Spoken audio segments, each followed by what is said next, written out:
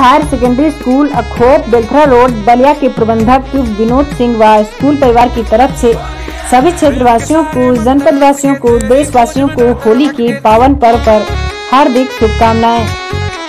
मैं Vinod Kumar Singh higher secondary school Akhop, Belthara road, Ballia का निवासी हूँ और मैं अपने तरफ़ से और अपने स्कूल के सभी बच्चों के तरफ़ से, समस्त क्षेत्रवासी, ग्रामवासी, हिंदू, मुस्लिम सभी भाइयों को होली का त्यौहार सौहार्दपूर्ण और प्रेम पूर्वक मनाएँ, यही मेरी तमन्ना है और यही मेरा आशीर्वाद और सभी बच्चों की तरफ़ से प्रेम और वो बना रहे यही मैं चाहता हूँ।